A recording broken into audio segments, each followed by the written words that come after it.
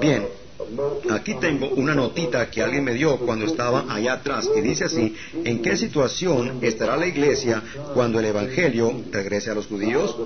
Bien, la persona que escribió esto se está refiriendo aquí en Lucas.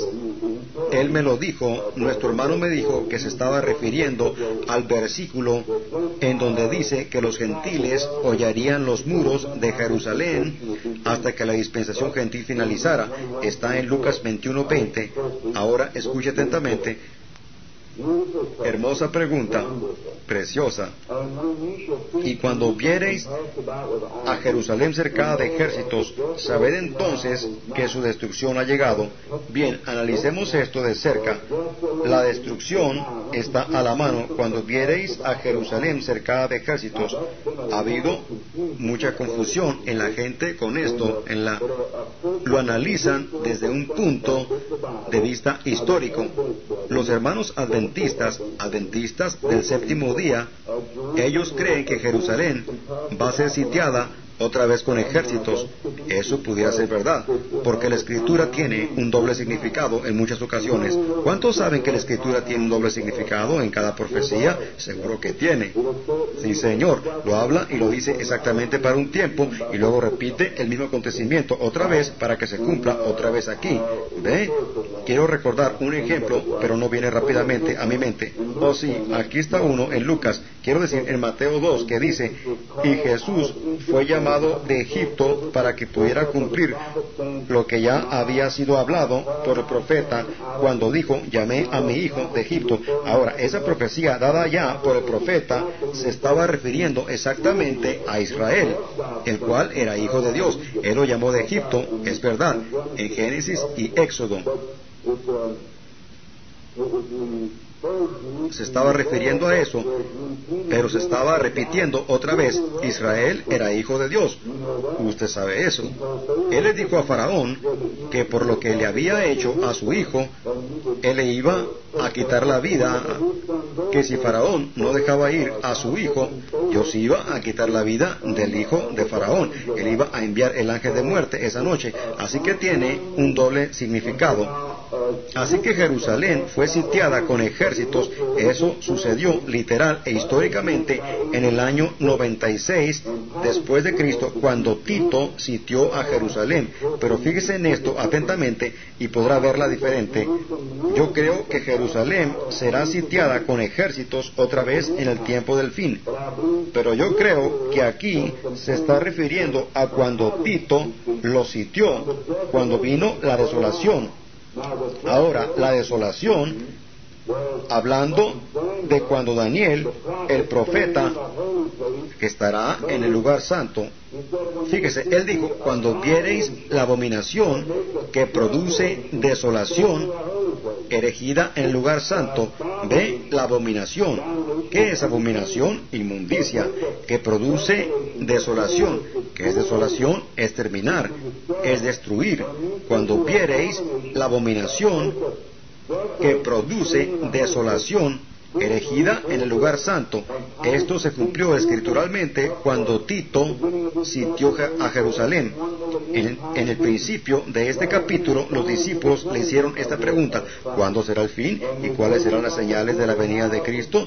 Y ellos le hablaron acerca del templo, cómo estaba y cuán bien fue adornado con grandes piedras y cosas. Pero él les contestó y les dijo que el tiempo vendría cuando no habría piedra sobre piedra, porque iba a ser destruido. Y él empezó a darle señales y prodigios. Entonces Jesús aquí, hablando, cita a Daniel para su cumplimiento, porque toda profecía debe cuadrar una con la otra. En ninguna parte la escritura está quebrantada. Jesús dijo, las escrituras no pueden ser quebrantadas. Amén. ¿Voy a irme al cielo? Seguro que sí. Las escrituras no pueden ser quebrantadas. Para usted que no cree en señales y milagros y prodigios, ¿cómo pudiera deshacerse de esa escritura? Las escrituras no pueden ser quebrantadas. Al igual como usted no puede deshacerse de Cristo, su cuerpo en el cielo, cada movimiento de su cuerpo en el cielo refleja una acción aquí en la tierra. Entonces, si sanidad divina, el poder de Dios fuera quitada de la iglesia literal o la iglesia espiritual aquí en la tierra, entonces tendría que quitársela a Cristo. Pero, oh, qué cuadro de la verdadera viña y nosotros somos los brazos de esa viña. ¿Ve? Y así como la viña se mueve, así también se mueven las ramas. ¿Es verdad esto?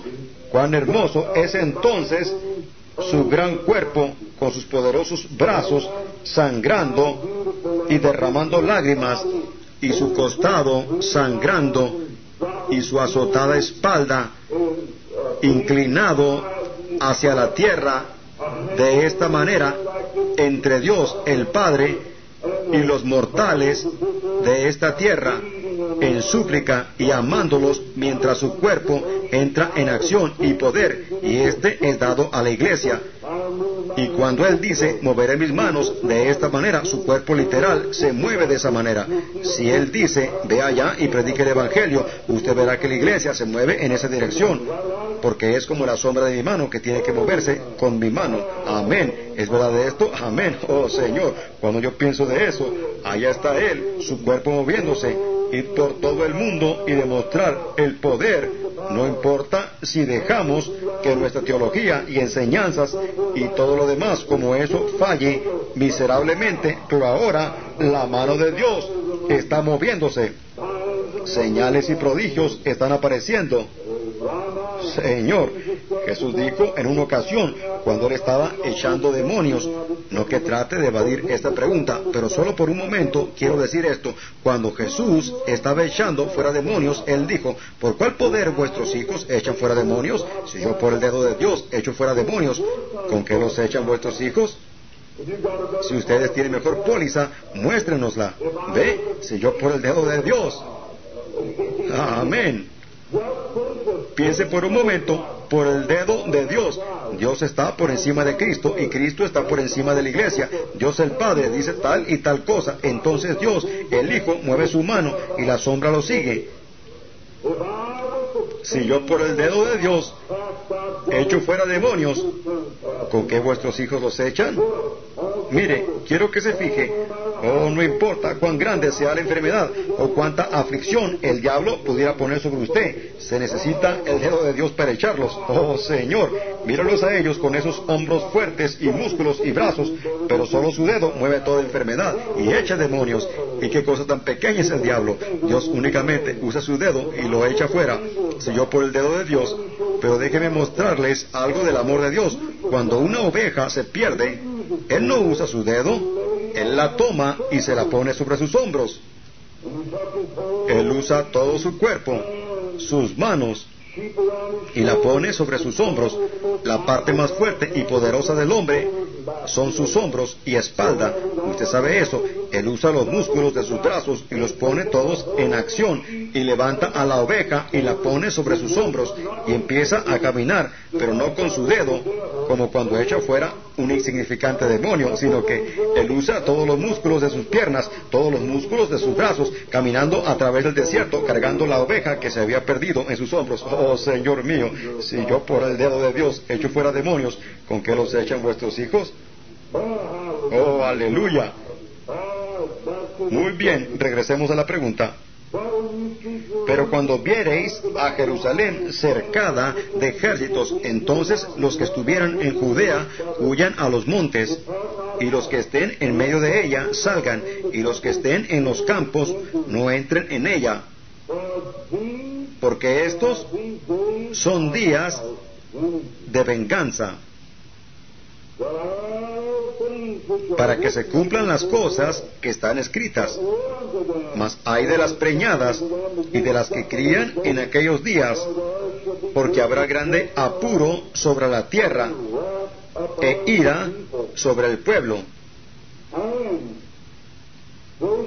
Y ellos caerán a filo de espada y serán llevados cautivos a todas las naciones. Mire qué tan hermoso lo especifica aquí la escritura. Primero fue a filo de espada y al último va a ser por la bomba atómica. Ve, pero aquí es a filo de espada. Y los judíos tenían que ser llevados cautivos a toda nación. Eso nunca se repetirá otra vez. Ellos se reunirán en Palestina por última vez. Ve, él se estaba refiriendo a días que ya pasaron. Y eso se cumplió exactamente y está exactamente de acuerdo a la historia. Ellos fueron llevados a toda nación. En toda nación, de debajo del cielo que hoy existe, usted encuentra judíos en toda nación. Usted va a China y allí encuentra judíos. Usted va a Rusia y allí encuentra judíos. Usted va a las islas pequeñas y encuentra allí judíos. Están dispersos en toda nación. ¿Qué es? La profecía de Dios. Dios lo prometió. Esos judíos son postes de señal, hermano. Cuando usted los ve, yo sé que están ciegos y fueron llevados cautivos y que engañan y todo, pero ellos fueron cegados por Dios para que usted y yo pudiéramos ver. Correcto. Pero voy a decir esto en el espíritu de profecía por la Biblia, que la hora del regreso del judío a su tierra está a la mano. Sí, señor. Él endureció el corazón de Hitler y los echó fuera de Alemania. Endureció el corazón de Mussolini y los echó fuera de Italia. Él los está sacando de todas partes, de la misma manera que lo hizo en los días cuando Él los sacó y cuando estaban listos para salir de Egipto y cruzar el desierto, que fue lo que sucedió. Dios envió al país grandes plagas y cosas, las cuales repetirá otra vez con sus dos siervos, los dos árboles de olivo de Ezequiel y de Apocalipsis 11. Él repetirá esas señales y prodigios. Lea en Apocalipsis 11 respecto a estos dos testigos. Dice, y daré poder a mis dos testigos ellos cerrarán los cielos durante los días de su profecía y herirán la tierra con toda plaga cuantas veces quisieran. Ellos son dos testigos en los últimos días. He escuchado enseñanzas modernas que dicen que esas olivas son el Antiguo y el Nuevo Testamento. Eso es incorrecto, incorrecto. Aquí están los dos testigos y es absolutamente el regreso de Moisés y Elías. Y si usted se fija, ninguno de ellos, Moisés murió, pero ¿a dónde se fue? Él tiene que resucitar. Y Elías fue trasladado sin ver muerte. Él tiene que morir, porque todo mortal tiene que. Así que él tiene que regresar otra vez y son dos testigos. Ahora fíjese, y será hollada y caerán a filo de espada. Verso 24, filo de espada y serán llevados cautivos a todas las naciones y Jerusalén será hollada de las gentes hasta... Amén. Hasta que el tiempo de los gentiles sea cumplido. Sorprendente, ¿verdad? El saber que tenemos un tiempo limitado. Dios lo dijo. La dispensación gentil fue iniciada con el rey Nabucodonosor. Oh, cuán maravilloso. Mucho pudiera hablar sobre esto, pero lo haré solo unos minutos más, ya que todos quieren que sus preguntas sean contestadas. Pero ya que ahorita estamos en esto, meditémoslo bien porque es muy esencial. Mire, Dios dio al pueblo judío. Ellos nunca fueron una nación, únicamente fueron un pueblo. Y tampoco nunca fueron una iglesia organizada, solamente fueron la iglesia sacada. Nunca hubo una organización entre los judíos, siempre fueron guiados por Dios.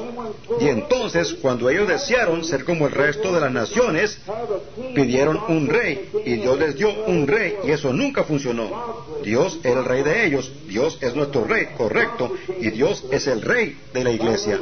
Ahora fíjese, cuando ellos fueron llevados cautivos a Babilonia, fue porque ellos trataron de personificar a las naciones del mundo. Y qué cuadro tan hermoso de la iglesia hoy día tratando de personificar al mundo, compartiendo su manera de vivir. La iglesia vive casi igual que el mundo, se comporta como él y todo lo demás, y reclama ser la iglesia. ¿Usted no puede hacer eso? No, señor. Su misma vida prueba lo que usted es. Lo que usted es. Como dije al principio, lo que usted es allá es lo que usted refleja aquí. Lo que usted es, lo que su cuerpo celestial o terrenal es, lo que su cuerpo celestial es allá, es lo que usted está reflejando aquí. Lo que usted es en el mundo espiritual es lo que usted es aquí. Si usted todavía es vulgar en el mundo espiritual, usted es vulgar aquí. Si usted todavía tiene malicia, envidia y contienda, usted tiene eso en el mundo espiritual y lo está reflejando aquí. Pero si todo su ser interno ha sido limpiado y purgado, eso demuestra que usted tiene un cuerpo allá esperando que ha sido limpiado y purgado y que está repercutiendo en la carne. ¿Lo ve usted? Ve, así es. Si este tabernáculo terrestre se deshiciere, tenemos uno esperando. ¿Ve? Ahora, en este tiempo, el tiempo del fin, todas estas comparaciones, personificaciones carnales de cristianismo, se mezclarán y llegarán a formar una gran Babilonia, así como lo hicieron allá. Decíamos que fueron llevados cautivos a Babilonia, ¿verdad? Y la Biblia dice que el ángel del Señor habló y dijo, salí de Babilonia, pueblo mío. Confusión. Eso de decir, yo soy bautista, yo soy metodista, yo soy presbiteriano, todo eso no es más que confusión. No hay nada de salvación en eso. Ahora, no piense usted que estoy diciendo que la gente bautista no tiene salvación, ni que la metodista.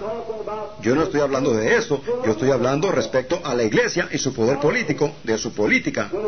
Y hablando políticamente, si usted es metodista o bautista o presbiteriano o es católico, eso no tiene nada que ver con salvación. Dios ni siquiera reconoce eso. Y esto está en la Babilonia actual. Dios está llamando a una iglesia de todos ellos, sacando a los de corazón puro, formando su iglesia. ¡Qué hermoso! Escuche esto.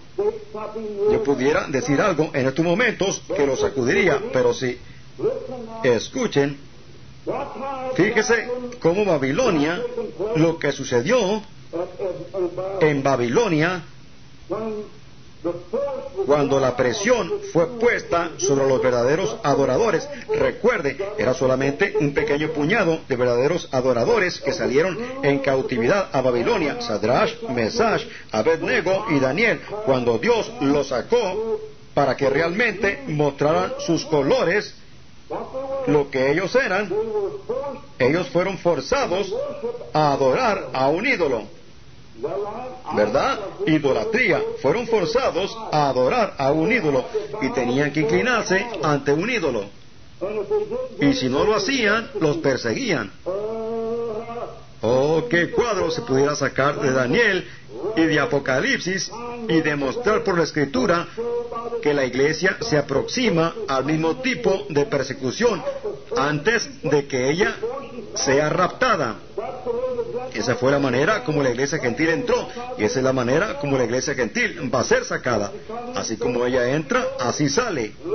Y fíjese cómo Daniel miró la imagen. Bien, recuerde la imagen. Esto es para esta iglesia aquí. Yo creo que la imagen que el rey Nabucodonosor hizo era la de Daniel, un hombre santo. Y si usted se fija, el rey Nabucodonosor ya le había llamado a Daniel Belsasar, el cual era su ídolo cuando él hizo la imagen, y ninguno de ellos, después de Daniel, fue echado al foso de los leones, y luego declaró, nadie sirva a otros dioses más que al Dios de Daniel. Probablemente era la imagen de un hombre santo, una gran estatua, y todos tenían que inclinarse a ella. Pero la iglesia, Sadrash, Mesach y Abednego, Daniel siendo el líder, como Cristo es el líder de la iglesia. Y ellos tenían que inclinarse delante de esta imagen y adorarla. Y si usted se fija, en aquellos días Daniel estaba silencioso. Amén. Oh, espero que usted haya captado esto. Daniel estaba silencioso. ¿Los dejó qué? Ellos tenían que hacer sus propias decisiones. En el día, en la terminación de la dispensación gentil, va a haber una imagen y todos van a tener que inclinarse ante esta imagen y adorarla. Pero aunque sea más santa que nunca, usted no debe adorar una imagen. Adoración a imagen. Ahora, fíjese, oh Señor, ya al fin Daniel entra a la escena otra vez. ¡Cuán maravilloso! Esa noche, antes de la gran fiesta de las concubinas y demás, apareció una mano escribiendo en la pared, Mene Mene Tekel Upasin en toda la pared. Y la interpretación nadie podía darla. Fue escrita en lenguas desconocidas. Nadie podía interpretarlo. Fueron y trajeron a sus mejores eruditos y ellos dijeron, no sabemos. Fueron y trajeron a todos sus adivinos y astrólogos y dijeron, no sabemos, no sabemos nada de eso. Nunca hemos visto tal lenguaje, nunca hemos escuchado tal cosa en nuestra vida. Pero había un hombre. Dios tenía su hombre. Ahí estaba Daniel y dijeron, traédmelo, porque el Espíritu de Dios vive en él. Así que Daniel fue y empezó a leer y a interpretar ese lenguaje en la pared y dio. ¿Cuál era la interpretación? No, oh bendito seas tú, oh rey, vive para siempre. Sino que la interpretación fue, ha sido pesado en la balanza y ha sido hallado falto. Y esto lo dijo con un crudo, tosco y claro rechazamiento. Fíjese, es la misma cosa, eso sobrenatural. Dio principio al reino gentil. Así, eso sobrenatural está sacando a los gentiles. El reino fue introducido por lo sobrenatural y está saliendo por lo sobrenatural. Los muros de Jerusalén serán hollados, serán los gentiles, la poseerán hasta que la dispensación gentil sea terminada. Entonces Dios se vuelve al judío. Amén. Oh Señor. Amigos, quisiera que pudiéramos captar eso muy bien. Usted no quisiera y tener como una semana para hablar sobre este tema. ¿Ve? Y así pudiéramos escudriñarlo completamente por la escritura. Escuchen, escuchen atentamente lo que él dijo. Jerusalén será hollada por las gentes hasta que el tiempo de los gentiles sea cumplido. Y luego vino el sitio de Tito, y Jerusalén fue tomada, y Jesús les preguntó, ¿habéis oído de la abominación que produce desolación? Sí, es cuando los gentiles entran. Sí, entendemos eso, contestaron los discípulos. Aún los gentiles tienen dominio hoy día, seguro. ¿Quiere decir entonces que Jerusalén está bajo dominio gentil? Sí, Señor. Los romanos, ellos todavía tenían el dominio sobre Jerusalén, y eso empezó muchos años atrás con la abominación que produjo la desolación de la cual Daniel habló. Él les dijo, ese tiempo está a la mano porque van a derrumbar este templo y van a edificar la mezquita de Omar y va a estar erigida aquí en este mismo lugar, los momentanos, los gentiles, y ahí va a estar erigida. Gentil significa incrédulo. Ese no era la iglesia, ese era el gentil. Ve el incrédulo. Bien, la mezquita estará de pie hasta que la dispensación gentil sea cumplida. Y cuando la dispensación gentil sea cumplida, el gran príncipe, quien es Cristo, se parará por el pueblo en el tiempo final. En Daniel, donde dice que uno, como hijo de hombre, se acercó al anciano, cuyo pelo de su cabeza era como blanca nieve, al igual como usted lo ve en Apocalipsis 1, el anciano de grande edad, y el juez se sentó y los libros se abrieron, libros, plural, se abrieron, y cada hombre fue juzgado por lo que estaba en los libros, por las cosas que estaban escritas en ellos. Fíjense, los libros fueron abiertos, él lo vio venir y millares de millares le servían, los santos venían con él, es lo que dice Daniel, ¿verdad? Y los libros fueron abiertos, esos son los libros de la vida de ellos, y cada hombre fue juzgado de acuerdo a esto, el pecador fue juzgado, y otro libro fue abierto, el cual era el libro de la vida, y cada hombre fue juzgado por lo que en él estaba. Ahora fíjese, recuerde que todo es en tres. Si usted no lo recuerda, usted de seguridad se va a enredar. Habían tres clases de gente que habían nacido en la tierra. Habían tres clases en el principio y habrá tres clases en el fin. Jesús regresó con millares de millares que lo asistían. Recuerda cuando él dijo, no es cosa pequeña para vosotros, no es una cosa fuera de lo común para vosotros el llevar vuestros asuntos y problemas ante la ley, que no sabéis que los santos juzgarán la tierra, los santos juzgarán la tierra. Aleluya. Yo medito en esto y lo veo viniendo allá a lo lejos con los lavados por la sangre después del milenio, la redención y los redimidos de todas las edades parados delante de su presencia, la novia lavada por la sangre, no aquellos que únicamente son gente buena, pues de seguridad no estarán en la primera resurrección. La Biblia dice que el resto de los muertos no vivieron hasta que los mil años fueron cumplidos. ¿Es esto verdad? Esos son aquellos que tenían sus nombres escritos en el libro de la vida del Cordero, pero que rechazaron el bautismo del Espíritu Santo. Únicamente el elegido entra, únicamente el elegido entra en el milenio. Oh, entonces hermano, ¿qué tipo de gente deberíamos de ser? Yo quiero vivir en el milenio dejando a un lado todo peso y pecado que tan fácilmente nos asedia. Si alguien dice algo mal o hace algo de otra manera, ore por él y usted siga caminando. Deje que su única alternativa sea dirigida hacia Dios. Si nadie más lo logra, usted lógrelo. Porque va a haber un grupo elegido que va a vivir en la edad del milenio y que va a reinar juntamente con Cristo por mil años y luego subirá a la gloria con él y regresará otra vez.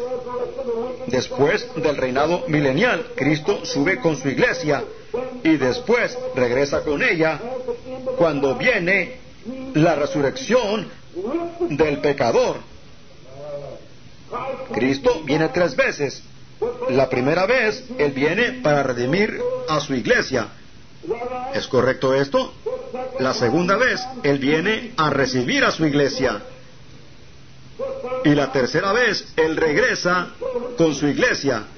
¿Ve? Él viene a redimirla, Él viene a raptarla y llevársela en el tiempo de las plagas y demás, y regresa con ella para entrar al milenio y vivir con ella por mil años y luego el gran rey y la reina descienden para el juicio. El trono blanco de juicio se establece y los libros se abren y ahí aparecen los redimidos, la iglesia del Dios vivo, nacida del Espíritu, parada allí en su belleza para juzgar.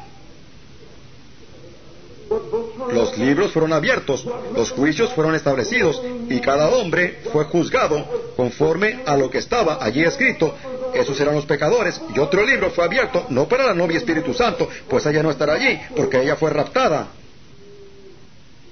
Y si usted está lleno con el Espíritu Santo en esta mañana y el poder de Dios está moviéndose en cada fibra de su cuerpo, ¿qué razón hay para que usted sea juzgado en el día del juicio? Usted ya ha sido juzgado y ha sido recibido y lleno del Espíritu Santo y ya ha sido trasladado a lugares celestiales con Cristo Jesús. No que usted será, sino que usted ya ha sido trasladado. Aquellos quienes Él llamó, Él justificó. A quienes Él justificó, Él glorificó. Y toda persona redimida alrededor del mundo en esta mañana que está bajo la sangre de Jesucristo, llena con el Espíritu Santo, tiene vida eterna y no puede morir y ya está en lugares celestiales con Cristo Jesús y nunca más vendrá condenación. Ya ha sido redimida. ¿No es esto maravilloso? Ve, ya ha sido redimida y está sentada en lugares celestiales con Cristo, ya glorificada, ya glorificada. Usted pudiera decir, hermano Bill, la escritura dice eso, Jesús dijo eso, la escritura dice eso, y los escritores de ella lo dicen. Pablo dijo que aquellos a quien él justificó, él ya glorificó. Aquellos a quienes Él predestinó, que Él predestinó. Aquellos a quien Él predestinó, Él justificó. Y aquellos a quien Él justificó, Él ya glorificó. ¿Qué es? Oh Señor, perdónenme. Ya glorificó. Entonces, si nosotros estamos llenos con el Espíritu Santo, nuestras fibras y seres ya han sido preservados en Dios. Hay un cuerpo glorificado esperando y usted entrará en él tan pronto que éste se deshaga. Aquellos a quien él justificó, él ya glorificó. Es lo que estaba hablando hace un rato, lo negativo y positivo. Quisiera tener la suficiente educación para pedir esto y hacerlo claro a usted, pero no la tengo, pero yo sé de lo que estoy hablando, pero no puedo exponerlo de la manera que quiero. Porción sin grabar en la cinta. El Mar Rojo y todas esas cosas que están sacando de la tierra que tienen ahí, esa tierra rica, la de los judíos, pero esa misma cosa contaminará sus campamentos otra vez. Sí, ellos van a ir a Israel, las ciudades del mundo lo harán, Rusia irá, pues dirá, tenemos que tener ese mineral, el uranio y todo lo que está allí, tenemos que apoderarnos de eso, y cuando esto suceda, entonces vendrá la batalla del Armagedón, y entonces Dios se parará y peleará otra vez, como lo hizo en aquella ocasión en el valle por el pueblo de Israel, pero eso sucederá cuando la dispensación gentil sea terminada y cuando ese tiempo se cumpla, ella se va.